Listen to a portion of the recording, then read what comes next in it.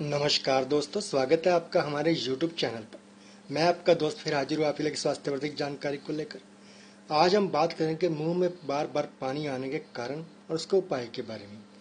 क्या आपके भी मुँह में पानी अधिक आता है? यदि हाँ तो इसमें कोई भी डरने की बात नहीं है, क्योंकि यह परेशानी बहुत से लोगों के साथ होती है। इसके अलावा आपके मुँह में जब भी आप खाना खाते हैं तो लार ग्रंथियाँ उस खाने को अच्छे से चिबाने में आपकी मदद करती हैं। और जब भी आप खट्टी चीज़ों के या अधिक स्पाइसी खाने के बारे में सोचते हैं तो भी आपको इस परेशानी का सामना करना पड़ सकता है। इसके अलावा आपको यह समस्या जागते हुए कम और सोते हुए ज़्यादा परेशान करती है, और इसके बहुत से कारण हो सकते हैं। जैसे कि जो लोग कंधे के बल सोते हैं, उन्हें यह परेशानी होती है, क्योंकि पीठ के बल सोने से लाल आपके गले में चली जाती है। इसके साथ ही रेबिश के रोगी साइनस इन्फेक्शन के कारण, गले में एलर्जी होने के कारण लार ग्रंथों में सूजन के कारण आपको ये परेशानी हो सकती है। लेकिन ये ऐसी कोई गंभीर समस्या नहीं है जिसके कारण आपको कोई बीमारी हो सकती है। लेकिन इसका ज़्यादा आने के कारण कई बार आपको दूसरों के सामने असहज महसूस हो सकता है। इसके लिए एक तो आपके मुँह में की सफ़ाई का खास ध्यान रखना पड़ेगा। तो आइए जानते हैं कि अगर आपको ये समस्या है तो उसके क्या क्या कारण हो सकते हैं? आप किस प्रकार इस परेशानी से राहत मिल सकती है? मुँह में लार बनने के जो कारण है दोस्तों, अधिक गर्म व मीठी चीज़ों के सेवन के कारण।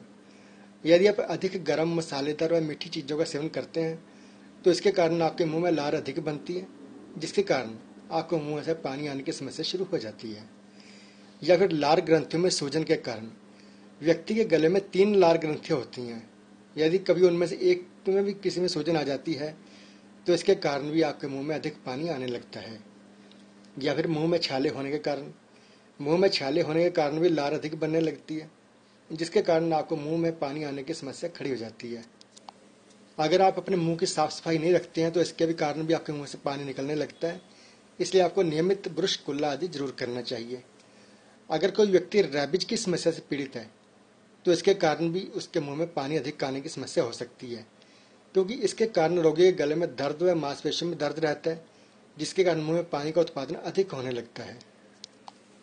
अगर आपको सांस लेने में परेशानी का अनुभव होता है तो आप मुँह में सांस लेते हैं। इसके कारण भी आपके मुँह में लार अधिक बनती है और यह समस्या रात को सोते समय अधिक परेशान करती है, क्योंकि मुँह से पानी अधिक मात्रा में निकलता है। तो अब जानते हैं कुछ घरेलू उपायों के बारे में जिनकी सहायता से आप इस समस्या से निजात पा सकते हैं। इसके लिए आप तुलसी के दो से तीन पत्ते लें और उन्हें अच्छे से धो लें। उसके बाद अच्छे से उन्हें चबाएँ। उसके बाद एक गिलास पानी का सेवन करें। दिन में दो से तीन बार इस उपाय करें, आपको इस परेशानी से राहत मिल जाएगी। या फिर फिटकड़ी के पानी का इस्तेमाल करें। दिन में दो से तीन बार फिटकड़ी के पानी को में अच्छे से उबाल लें और उस पानी के गुनगुना रहने पर दिन में दो से तीन बार उस पानी से कुल्ला करें। आपको इस समस्या से निजात पाने में मदद मिलेगी। अगर आप अधिक मसाले वाले या गर्म भोजन करते हैं तो कई बार उसे पचाने में आपको समय लग सकता है, जिसके कारण आपके मुँह में लार बनने लगती है।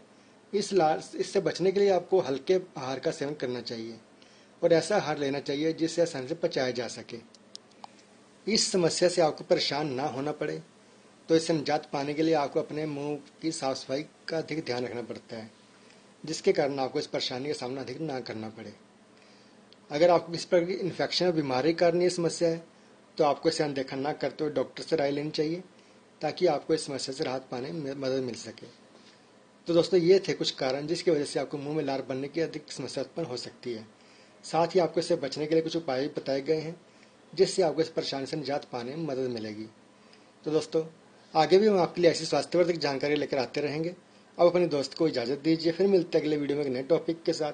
तब तक के लिए नमस्कार, धन्यवाद।